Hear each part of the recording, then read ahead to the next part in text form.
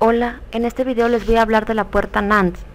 El término NAND es una contracción de NOT AND e implica una función AND con la salida complementada, es decir, con la salida negada. Aquí vemos los símbolos de la puerta NAND. Vemos el primer símbolo hacia la izquierda. Dice símbolo distintivo de la puerta NAND. Tiene dos entradas y su equivalente NOT AND.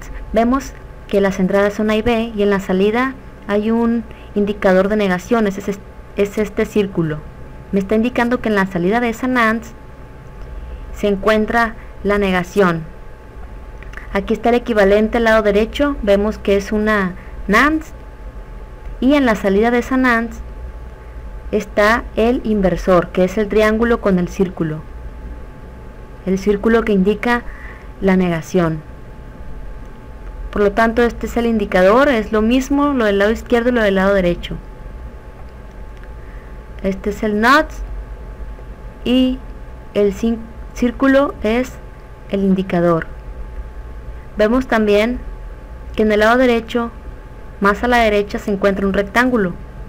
Es el símbolo rectangular de la puerta NAND. También podemos representar así la NAND. Es un rectángulo y dentro de él se encuentra el símbolo que indica y. Ya en la salida se encuentra la negación. Aquí está el funcionamiento de la puerta NAND.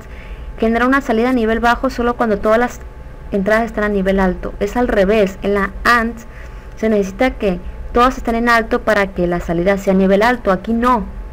Aquí si todas las entradas están a nivel alto, la salida va a estar a nivel bajo y cuando cualquiera de las dos entradas está a nivel bajo, la salida se pondrá a nivel alto. Aquí podemos ver, si las dos están en bajo, la salida va a ser alto. Si una está en bajo y la otra está en alto, la salida va a ser alto. Es como si fuera una OR.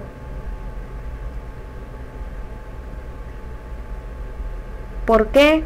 Mira, la AND es una multiplicación es, en este caso es 0 por 1.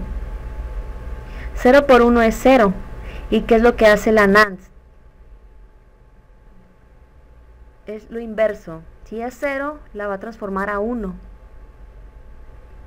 Por lo tanto, si está en nivel bajo, lo va a transformar a un nivel alto, lo inverso. Aquí vemos la tabla de verdad de la puerta NAND con dos entradas. Si las dos entradas están en bajo, la salida va a estar en alto. Si cualquiera de las dos está en en alto, la salida va a estar en alto. Igual aplica en este caso. Y si las dos están en alto, la salida va a estar en un nivel bajo. Por lo tanto, la conclusión es que la NAND es lo inverso de la puerta AND. Si está en la AND está a nivel 0, en la NAND va a estar a nivel 1. Si en la AND está a nivel 1, en la NAND va a estar a un nivel 0.